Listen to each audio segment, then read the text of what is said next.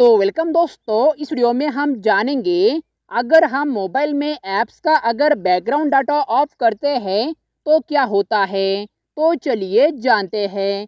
तो देखिए दोस्तों, हमारे मोबाइल में जितने भी ऐप्स होते हैं, उन सभी ऐप्स को अगर हम यूज़ करें या ना करें, वो सभी ऐप्स बैकग्राउंड में हमारे मोबाइल का कुछ ना कुछ इंटरनेट डाटा यूज़ करते हैं। और दोस्तों, अगर हम इन सभी ऐप्स का अगर बैकग्राउंड डाटा ऑफ़ करते हैं तो हमारे मोबाइल का दोस्तों जो इंटरनेट डाटा है, वो दोस्तों सेव हो जाता है। यानी कि दोस्तों, हमारे मोबाइल का जो फालतू इंटरनेट डाटा खर्च हो रहा था, वो दोस्तों बच जाता है।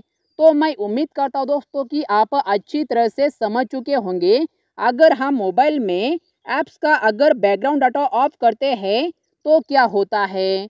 तो वीडियो अच्छी लगी होगी दोस्तों तो वीडियो को लाइक कीजिए और अभी तक अगर आपने हमारे चैनल को सब्सक्राइब नहीं किया है तो हमारे चैनल को सब्सक्राइब कीजिए।